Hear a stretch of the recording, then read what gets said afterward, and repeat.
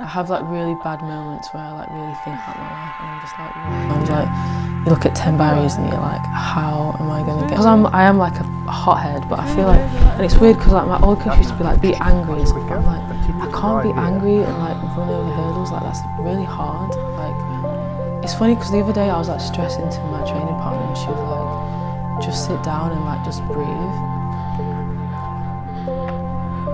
A lot of stuff I do with my physio was all about breathing and I started just just doing loads of breathing work and it just it changed like everything. It makes me feel so much better. I'll do it anyway in competition because I feel like when you compete you do have like quite a lot of adrenaline and it's just how you make that. It's like, you know, that fight or flight kind of emotion. It's how you make it into a fighting emotion instead of... To me, like, hurdling is like dancing. It's like ballet dancing.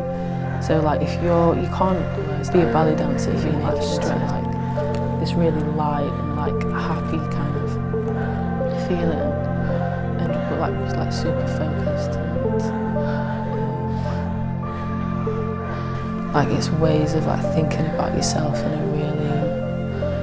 Like, not an arrogant way, just like a really loving way, because it's like then you just like bringing it to fruition sort of thing. I don't, I don't really know many people that kind of think like that.